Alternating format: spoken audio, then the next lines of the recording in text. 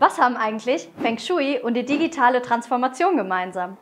Mein Name ist Daniela Hobscheid und ich arbeite in dem Themenfeld der strategischen Unternehmensgestaltung am Fraunhofer IEM in Paderborn. Und heute in dem Video möchte ich euch erklären, warum man bei der digitalen Transformation nicht nur Technologien betrachten sollte.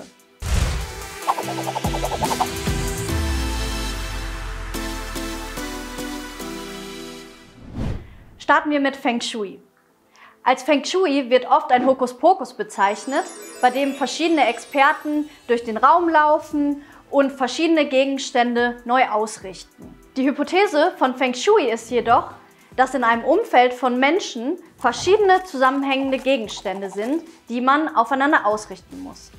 Ziel des Feng Shui liegt darin, durch die Gestaltung von beispielsweise Wohnräumen eine Harmonisierung des Menschen mit seinem Umfeld zu erreichen. Es sind die fünf Elemente Erde, Wasser, Feuer, Holz und Metall in ein Gleichgewicht zu bringen. Auf der anderen Seite steht jetzt natürlich die digitale Transformation.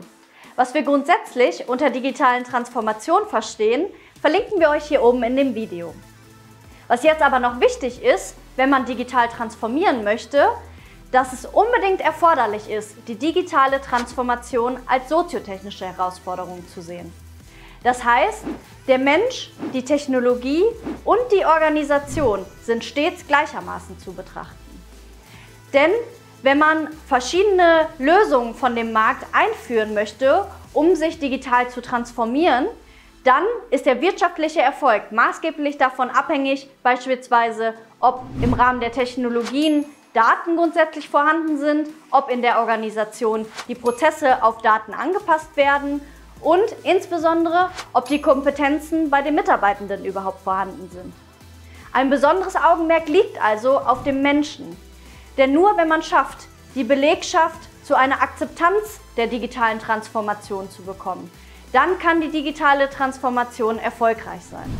Denn wenn keine Akzeptanz in der Belegschaft herbeigeführt wird, dann kann die digitale Transformation verzögert oder gar verhindert werden. Was haben jetzt also die digitale Transformation und Feng Shui gemeinsam? Die digitale Transformation möchte als soziotechnische Herausforderung auch Elemente in einen Einklang bringen. Das heißt, Ziel der digitalen Transformation liegt darin, durch die Gestaltung von Unternehmen eine Harmonisierung des Menschen in seinem digitalen Umfeld zu erreichen. Es sind die drei Elemente Mensch, Organisation und Technologie in ein Gleichgewicht zu bringen.